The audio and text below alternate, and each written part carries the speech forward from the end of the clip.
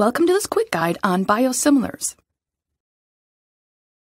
Cancer patients may soon be hearing about and offered new treatment options called biosimilars.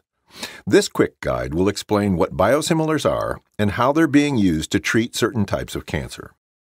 There are different types of drugs used to treat cancer. Some, like chemotherapy, are made from chemicals. Others, called biologics, use living organisms. A biologic can be made from living cells or tissues, like a vaccine, or it can be made by living cells or tissues, like many of the newest cancer therapies. Biologic drugs are complex. Because they are made by living organisms, it is impossible to make an exact copy of one. In fact, even different batches made of the same biologic drug aren't exactly identical. Biologic drugs, also called biological drugs or biopharmaceuticals, aren't only used to treat cancer. Vaccines and insulin used to treat diabetes are made with living organisms. Some treatments for arthritis, psoriasis, Crohn's, and colitis are too. One of the most well known biologic drugs used to treat cancer is trastuzumab, brand name Herceptin, which is used for HER2 positive breast cancer and gastric cancer. Another biologic that treats cancer is rituximab, brand name Rituxan, which is used for blood cancers. Bevacizumab, brand name Avastin, may be used to treat breast, colorectal, lung, and other cancers. Cetuximab, brand name Erbitux, is used for colorectal and head and neck cancers. So now that we know what biologic drugs are, what are biosimilars? A biosimilar drug is a copy version of a biologic drug. It is given at the same dose for the same purpose and works in the same way as the original biologic drug. But unlike generic drugs, which are exact copies of chemical drugs, biosimilars are not exact copies. They are so similar to the original biologic that biosimilars work the same way in your body. But because biologic drugs are made by or from living organisms, it is impossible to make an exact copy of one. Instead, biosimilars are made to be very similar copies of biologic drugs. The Food and Drug Administration, or FDA, is the federal agency responsible for protecting public health and ensuring that drugs are safe and effective. It oversees the approval of all drugs, biological products, and medical devices in the U.S., including generics and biosimilars. Before the FDA will approve using a biosimilar, it must undergo a series of tests. These tests make sure that the biosimilar has the same overall structure and function as the original drug. The FDA also requires biosimilars to be made at the same dose and strength as the original biologic product. The biosimilar product must meet FDA's rigorous standards, be made in licensed facilities, and be monitored to ensure quality.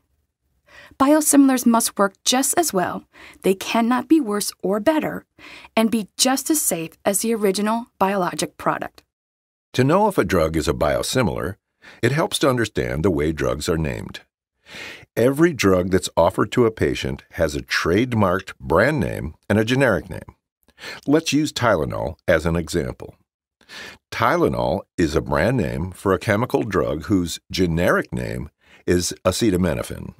The generic name is what is used by the medical industry to define what the drug does and how it reacts within the body. No matter what company makes this drug, the generic name will always be acetaminophen, even though only one company can use the brand name Tylenol. A biosimilar drug will have the same generic name as the original drug, but it will be followed by a dash and a series of four letters. In 2015, the FDA approved the first biosimilar drug for use in the U.S. It is called Filgrastim, SNDZ, brand name Zarzio, and it is a biosimilar to the drug Filgrastim, brand name Neupogen. Both Zarzio and Neupogen are used to help patients produce the white blood cells they need to fight infection. They are both approved for cancer patients receiving chemotherapy, a stem cell transplant, or who have severely low levels of white blood cells for other reasons. They both work the same. Your doctor will prescribe Zarzio or Neupogen.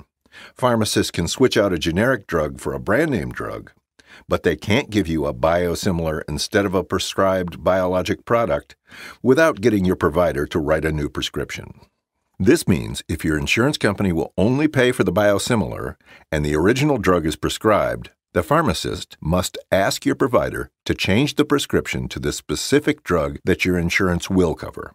You can ask your doctor or pharmacist whether you are receiving an original reference or brand name product, a generic product, or a biosimilar. When you become more familiar with how treatments work and how drugs are named, you can feel more confident about the care you receive. Although biosimilars are fairly new in the U.S., they have been approved and used safely in Europe since 2006. In the United States, the price savings of using biosimilars over the original product are still somewhat unclear. The hope is that biosimilars may improve a patient's access to care, increase treatment options, and possibly offer price savings. Let's hear Dr. Leah Christl from the FDA talking about the future of biosimilars in cancer treatment. I think there's a lot more that's coming for cancer patients in that space, and we have a number of development programs to uh, cancer therapies that are ongoing. And I expect that we'll receive more marketing applications, which will hopefully lead to more approvals for cancer therapies. And again, have that competition in the marketplace, which will hopefully drive down costs for healthcare.